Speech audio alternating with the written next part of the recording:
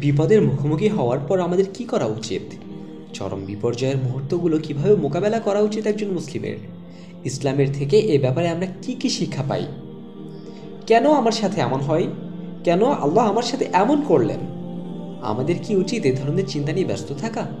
না। ইসলাম আমাদের সবরের শিক্ষা দেয়।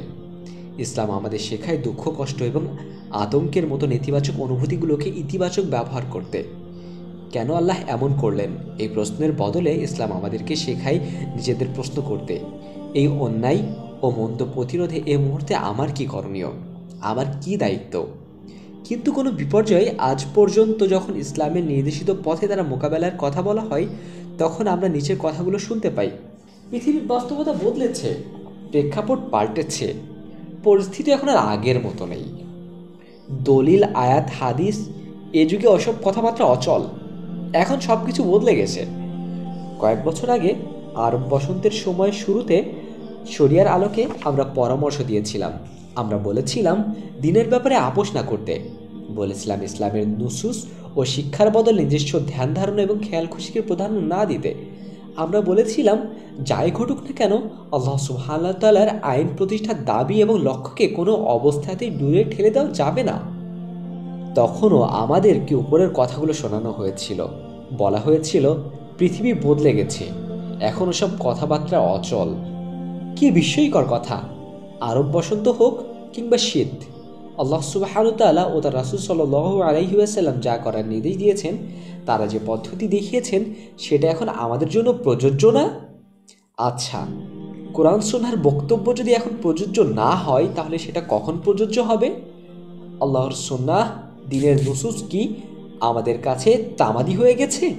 এগুলো কি মেয়াদ উত্তীর্ণ হবার তারিখ সহ নাজিল হয়েছিল যে আমাদের ইচ্ছে মতো আমরা বলে দেবো আজ ওগুলো প্রযোজ্য নয়? একটা কথা এখানে পরিষ্কার করি।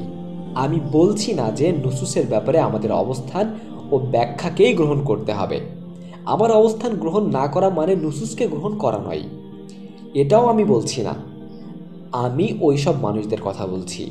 যারা বলে যে অমুক আয়াত, অমুক হাদিস, অমুক বিধান আজকের জামানার জন্য অনুপযুক্ত অথবা ওগুলো অকার্যকর হয়ে গেছে। আমি ওইসব মানুষের কথা বলছি যারা বলে আল্লাহ বলেছেন, আল্লাহর হুকুম দিয়েছেন, এসব কথা আমাদের শোনাতে আসবেন না। এখন অত কিছু মানা যাবে না।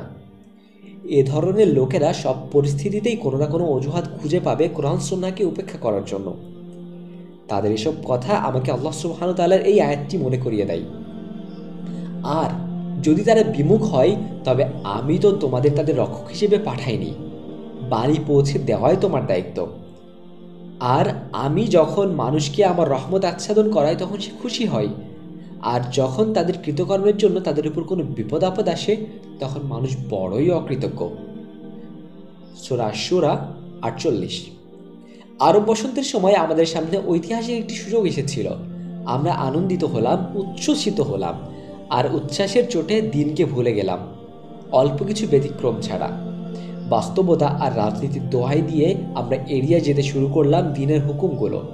শুধু তাই না, নানাভাবে এই আচরণকে জায়েজ করার চেষ্টা করলাম, যেন কোরআন বলে কোনো কিছু আমাদের সামনে নেই, সুন্নাহ আমাদের কাছে নেই। এই সময়টাতে একদিকে আমরা দেখলাম দিনের ব্যাপারে একের পর এক ছাড়, আপোষকামিতা, অবহেলা, উপেক্ষা আর সত্যের সাথে মিথ্যার মিশ্রণ। অন্যদিকে দেখলাম আল্লাহ সুবহানু তাআলা নির্ধারিত সীমার লঙ্ঘন আর অলুল যারা কুফরে প্রতিনিধিত্ব হয়েছিল, তারা তখন কুফরের অন্ধকারে হারিয়ে যাবে। আর অকৃতজ্ঞতা যখন অকৃতজ্ঞতা আর সন্দিহানতা যখন সন্দেহের মাঝে হারাবে, তখন তাদের কর্মফল তাদের সামনে আসবে। তখন তারা বলবে, এটা কোথা থেকে এলো? বলো, তা তোমাদের নিজেদের থেকেই। নিশ্চয়ই আল্লাহ সব কিছুর উপরেই ক্ষমতাবান। সোরা আল ইমরান একশো পঁয়ষট্টি।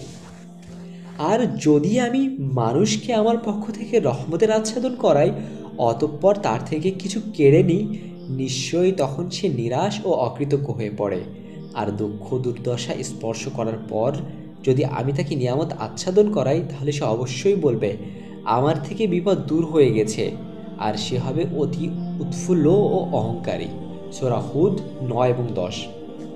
আজ বিপর্যয়ের সময় অবিচলতা থাকে না। স্বাচ্ছন্দ্যের সময় পাওয়া যায় না আনুগত্যের দৃঢ়তা। আর যখন এ ব্যাপারে স্মরণ করিয়ে দেওয়া হয়, তখন তারা বলে, পরিস্থিতি পাল্টেছে, পৃথিবী বদলে গেছে। আল্লাহ সুবহানু তাআলা বলেন, তবে যারা সবর করেছে এবং সৎকর্ম করেছে, তাদের জন্যই রয়েছে ক্ষমা এবং মহাপ্রতিদান। বিপর্যয় দেখা দিলে ভাগ্যকে দোষারোপ করার বদলে আমাদের মনোযোগ দেওয়া উচিত করণীয়ের দিকে। কিন্তু কথা বললে আজ কিছু মানুষ বলে ওঠে, আমাদের ইতিবাচক হবার কথা বলবেন না, সেটা কোরআন হাদিসের কথা হলেও না, কারণ পরিস্থিতি বদলেছে।